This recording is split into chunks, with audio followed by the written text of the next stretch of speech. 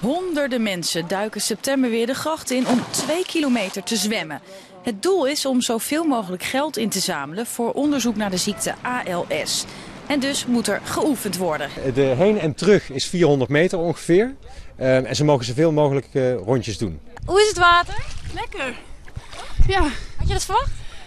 nou, ik had het kouder verwacht. U heeft eh, geen eh, wetsuit aan. Hoe is het water? Heerlijk. Warmer dan vorig jaar.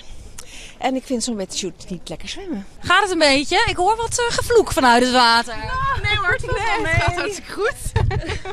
Is het zwaarder dan jullie dachten? Ja, het is toch wel anders dan het zwembad. We hebben getraind in het zwembad en dat is wat makkelijker. Is het eh, pittig? Buiten zwemmen is iets anders dan in een zwembad zwemmen. En als je dat nog nooit gedaan hebt, dan is het A, een nieuwe ervaring. Maar je merkt ook dat alle externe invloeden, zoals wind, golven, eh, bewegingen van boten, het ineens heel anders maken. En dat maakt het wel wat pittiger. Waarom doet u mee? Ik, eh, omdat ik van zwemmen hou. Omdat het een heel goed doel is.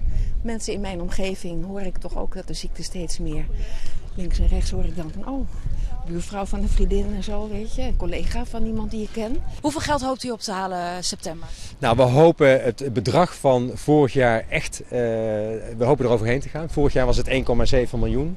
Dus laat ik voorzichtig zijn, maar laten we ruim 2 miljoen binnenhalen, dan zijn we enorm geholpen. Jij bent ex-wedstrijdzwemmer, dus zijn volgens mij nog wat eh, amateurs in het water. Nog tips? Ehm, nou, ik zou zeggen, gewoon vooral lekker je eigen ding doen. En eh, niet te veel willen forceren met borstkrol of zo. Ik denk lekker schoolslag en eh, gewoon eh, goed zwemmen. Je ziet het ondanks eh, dat het niet te doen is, gewoon zitten. Ja hoor, het is zeker, dat moet lukken. 7 september is de City Swim en tot die tijd kan er elke maandag dus geoefend worden.